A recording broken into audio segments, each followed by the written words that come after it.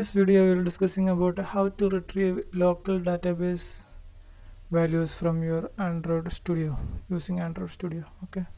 This is my config file. Here you can see my IP address of data URL 192.168.2.65 is my local IP okay. In this project I used phpMyAdmin and XAMPP server Android Studio and Android emulator. All these four things are installed in my local PC only.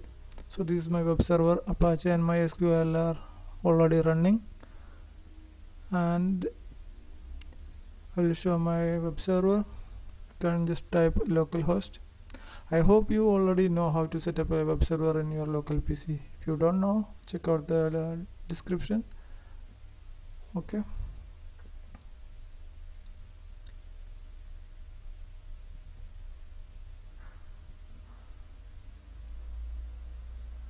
let's type localhost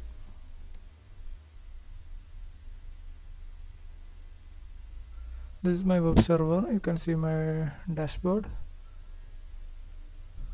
This is the XAMPP control panel and phpMyAdmin. Let's go to the MySQL. phpMyAdmin. There is one database and I there are some tables also so this information database information I want to get in my Android emulator. I want to test locally on my PC only.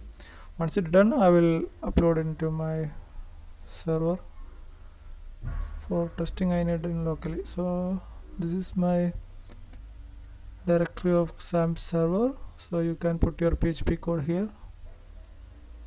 I'm doing this with uh, a volley okay let's run the emulator.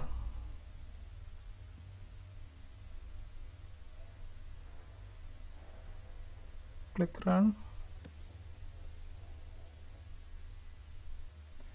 It will take little time to coming up because it's depend upon our PC speed. Meanwhile let's check our PC IP you can go to the command prompt and type ipconfig okay ipconfig command will help you to get IP address of your laptop. Okay. Go up. See this is my LAN network adapter IP address 192.168.2.65 okay. This IP address you should use in your config file. Okay. Emulator is booting up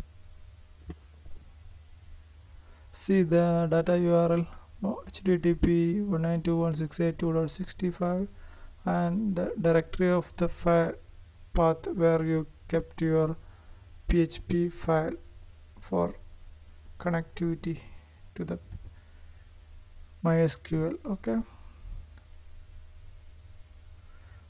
Okay emulator is okay. Now the application will come running okay application running successfully. When you click the English button it's a small quiz application. See these values are retrieved from my local phpMyAdmin database. Okay this is running successfully.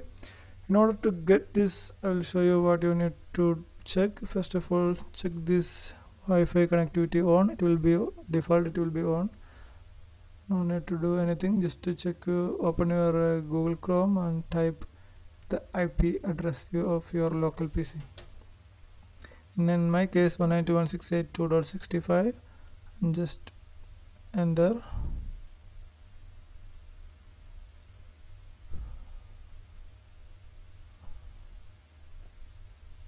See XAMPP control my web server dashboard you can see here so the reachability is here basically we are checking the reachability.